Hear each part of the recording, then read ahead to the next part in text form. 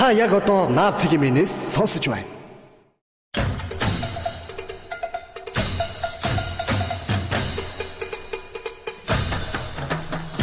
Вовк нэг өдөр хичээлээс хоцроод ороод ирж шинэ багш хүүхэн хичээл зааж байна. Багш хүүхэн чи ч надаа яасан даварсан сурагч бай гэж зандрал Вовк хүүчиндэн шүү. Гэж багш уурлан захирал дээр түүнийг дагуулсан орлоо. Захирал нэлээд нухацтайгаар. Вовкоч хүчинд нь исэн бол хүчинддэг хүүдээ. Гэхдээ Вовк хүчиндүүлээ ширээн дээр алцаагаа дээшээ хараад хилдэж байх байна. Сайхан шүү гэж юм.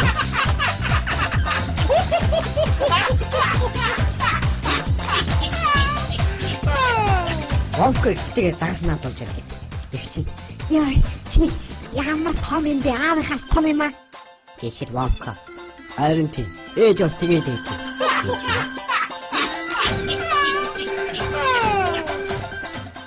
Өвгөн эмгэн хоёр гэртээ байж байж дээрэмчд орж ирээд өвгөнийг барьж аваад эмгэний хүчинд иж. Дээрэмчд явсны дараа эмгэн их л ууртайгаа. Гүй чи чинь хүн хүчиндүү жаах чинь таныг юм шиг хараа суугаад байх юм да. Чи чинь өөрөө өөдөөс нь хөдлөд байхаар би чамайг уртаад байгаа юм байх гэж бодсон шүү дээ. Гэж юм.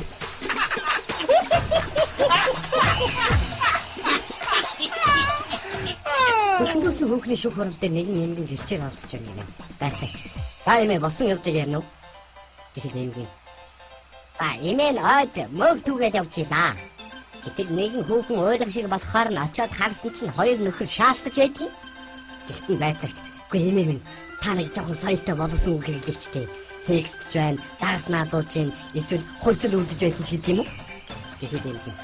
За тийм минийхөө эмээ нь ойд мөг түгээд явж байлаа. Гэтэл нэгэн хүүхэн ойлгох шиг болохоор нь эмээ сэмхийн очиод харсан чинь хоёр нөхөр секстж байдаг. Гэхдээ секстж гэжтэй яг үндэ шаалтж байсан.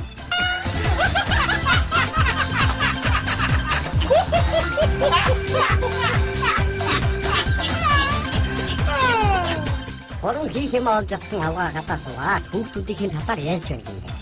Би өчигдөр охиныхоо хатааснаас тамхи болдог байгаа. Охиноо тамхи татдаг гэдгийг мэдээгүй башмагцсан шүү. Харин би өчигдөр охиныхоо хатааснаас архины бүгд олсон гэж бодчих. Охиноо арх үүдгийг гэж мэдээгүй хачин болсон шүү. За та та хоёрыг гайгүй байна. Би өчигдөр охиныхоо хатааснаас бэлгэж олсон гэж бодчих. Охиноо ихтэй хүнийг шиг ихтэй гэдгийг мэдээд ястаа хэлэх үг олдоогүй шүү. Хоёр баян хоорондоо ярьж байна гинэ.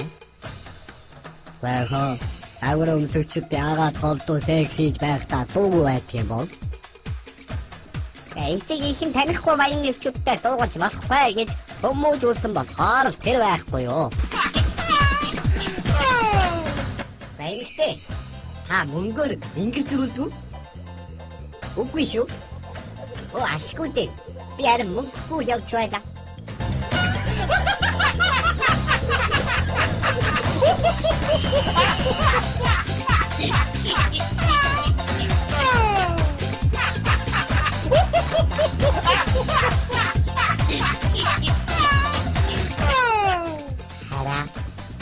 Хоёулаа яг анхны шиг ямарсах. Тэвэрдээ хоцаа тайлаад тайчаад шууд шалан дээр тэхүү. За тэгээ. Миний хайр харин яг шалан хоц.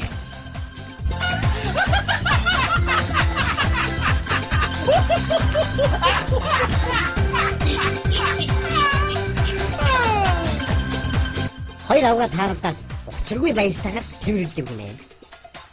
За би чамайг хоёр сар харсан. Би чамайг хоёр сар харсан. Өнгөрсөн хугацаанд юу хийв та? За би хатигт ажиллаа. Намайг соёлгүй харьцаатайгээд гарчихсан. Би ч бас хатигт ажиллаж ирсэн. Намайг харин хитрхи соёлтой байна гэж харчихсан. Юу гэсэн үг? Юу гэсэн үг чичтэй? Яг нөхөр орж ирээд бэлгэж авахаар нь бэлгэж өгөхдөө би сайн шаартаараа хэлчихсэн.